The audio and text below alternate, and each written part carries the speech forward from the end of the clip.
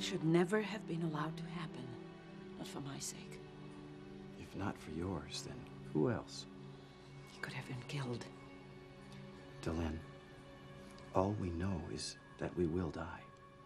It is only a matter of how, when, and whether or not it is with honor. He did what any of us would have done. Respectfully, Delenn, I think this is the one thing about your position you do not yet understand. You cherish life. Life is your goal. But for the greater part to live, some must die or be harmed in its defense, and yours. There is no other way. Now, the doctors say that Marcus will recover, and that is what matters. He understands.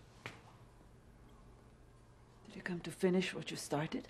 If I had wished him dead, he would be dead. Then why did you stop short? That is between the two of us. I would speak to him alone, one warrior to another. Then I will go. He will not hear you. Then I will speak briefly.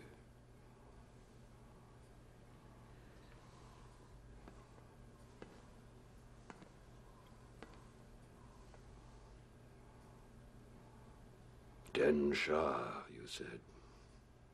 To the death. And death there was. The death was mine.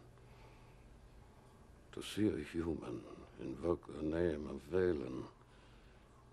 To be willing to die for one of my kind when I was intent upon killing one of my own.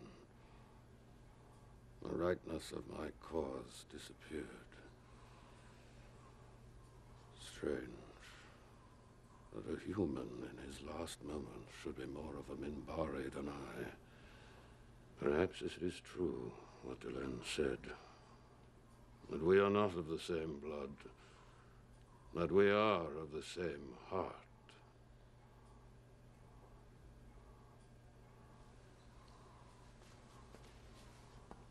The next time.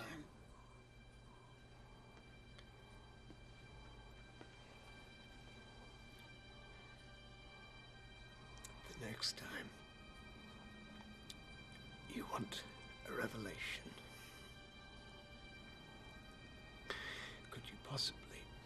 Find a way that isn't quite so uncomfortable?